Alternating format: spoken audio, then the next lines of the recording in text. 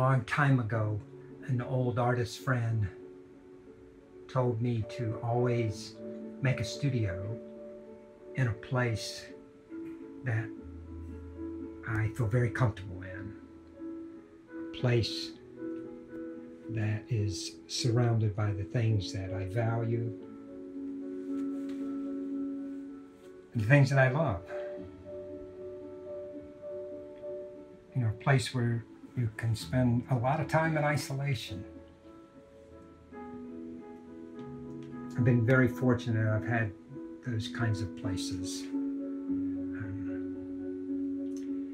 my friend said to, to make a sanctuary for yourself. You're going to spend a lot of time there.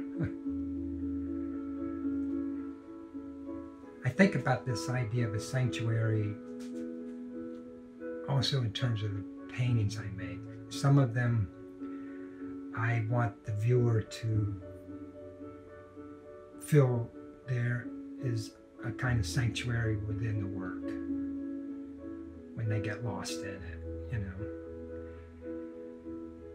I mean, these are obviously landscapes of certain places, but beyond that, they are about the paint, they're about the light, they're about the color and the texture of the paint.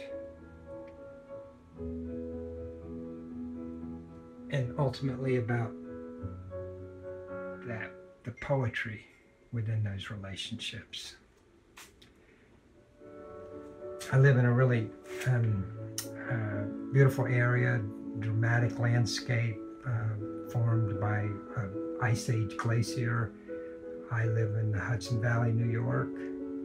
Welcome to my studio. My name is Phillip Harris.